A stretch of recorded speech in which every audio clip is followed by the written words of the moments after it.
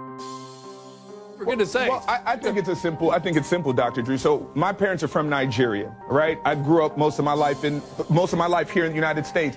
I consider myself African American. Sure. I still speak the language. My relatives, grandparents, everybody is back in Nigeria. Mm-hmm. So I don't have a problem saying I'm African American. What I would say to all Black Americans are, you can trace your lineage back further than a lot of white people who came over during Ellis Island and are immigrants. So why should you say African American and separate yourself from a country? That you seem to have more ownership than the people that are keeping you from it. I like black.